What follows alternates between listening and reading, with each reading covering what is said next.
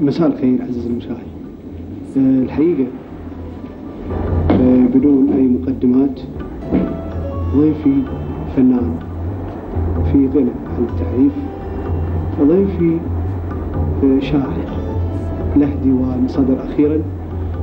ضيفي عاصر هذا الجهاز من بداية ظهوره بحييه رضا الفيلي. يا هلا يا هلا اشكرك الله. هذا الترحيب الجميل يا هلا. وهذه التحية الحارة. وأنا سعيد إني أكون معاك. إحنا بيسعدنا أكثر الحقيقة. وما أدري بالنسبة لفنان مثلك. تبي نبتدي برضا الشاعر؟ أنا قلت قبل شوية بدون مقدمات. تبي نبتدي برضا اللي عاصر هذا الجهاز من أول ظهوره؟ تكرمني كثيرا يا أخي لما تقول لي اولا آه هذه الألقاب اللي أعتقد آه أنا لا زلت مبكر في أن أصل اليها لا تكون فنان أو شاعر أو أديب إلا بعد أن تقطع شوطا بعيدا في هذه الدروب. الحمد لله. الله يخليك. وعلى اية حال آه، الجو اللي أنت معيشني إياه الآن آه، في الاستديو جو شاعري حالم. ومن الجميل جدا أن نبدأ من الحلم ونصل إلى اليقظة.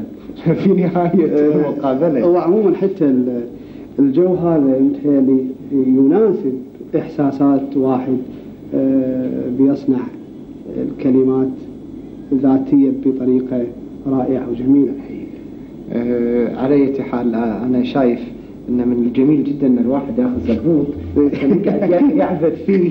شايف شلون. اثناء ما إحنا نسولف. آه. لأنك أنت حقيقة كأنك محضر من الطبيعة الأم. آه، ملامح في- آه، وخطوط معبرة وجميلة. في زبابوك. شوف يا أخي البلد بترتبط بهذا بهذه الأشياء. جزء من التراث والحياة لا شك. هذا الماضي أساسا. عندي أنا شوية نقاط أستاذ رضا فمن كثرها دونتها عندي عشان ما انساها ودنا ندش آه، نشوف اللي عند رضا الشاعر رضا صاحب ديوان آه، ضفاف الهوى. الحقيقة في آه، أولى نقاط اللي ودي أسألك عليها.